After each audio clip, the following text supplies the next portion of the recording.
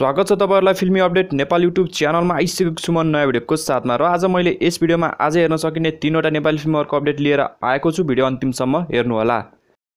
पुकार नामक Nepal film hitech entertainment YouTube च्यानलमा आएको छ। फिल्ममा श्रीकृष्ण श्रेष्ठ सरोज खनाल मौसमी मल्ल बिना बुढाथोकी लगायत अन्य कलाकारहरूको अभिनय रहेको छ। यदि तपाईँहरू यो फिल्म हेर्न चाहनुहुन्छ भने हाइटेक इन्टरटेनमेन्ट युट्युब च्यानल मार्फत हेर्न सक्नुहुनेछ। साथै यस भिडियोको डिस्क्रिप्सनमा पनि मैले यो फिल्मको लिङ्क दिएको छु। तपाईँहरूले हेर्न सक्नुहुनेछ।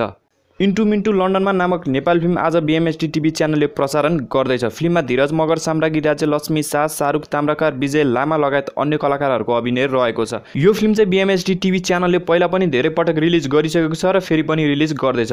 यदि तपाईँहरूले हेर्न छुटाउनु भएको छ भने आज तपाईँहरूले दिउँसो दुई बजे बिएमएसटी टिभी च्यानल मार्फत इन्टु मिन्टु लन्डनमा नामक नेपाल फिल्म हेर्न सक्नुहुनेछ। त्यसै गरी क्याप्टेन नामक नेपाल फिल्म पनि आज बिएमएसटी टिभी च्यानलले प्रसारण गर्दैछ। फिल्ममा अनमोल केसी उपसना सिंह ठकुरी सुनिल थापा प्रशान्त ताम्राकर बुद्धि तामाङ लगायत अन्य कलाकारहरूको अभिनय रहेको छ। यो फिल्म पनि बिएमएसटी टिभी च्यानलले पहिला पनि प्रसारण गरिसकेको छ। यदि तपाईँहरूले हेर्न छुटाउनु भएको छ भने आज राति आठ बजे बिएमएसटी टिभी च्यानल मार्फत हेर्न सक्नुहुनेछ। बिएमएसडी टिभी च्यानल मार्फत आज तपाईँहरूले दिउँसोको दुई बजे इन्टु मिन्टु लन्डनमा नामक नेपाली फिल्म र राति आठ बजे क्याप्टेन नामक नेपाली फिल्म हेर्न सक्नुहुनेछ।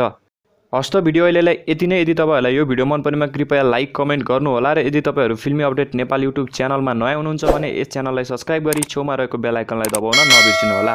फेरि पनि नयाँ भिडियोको साथमा उपस्थित हुने नै छु। भन्दै बिदा चाहन्छु। धन्यवाद।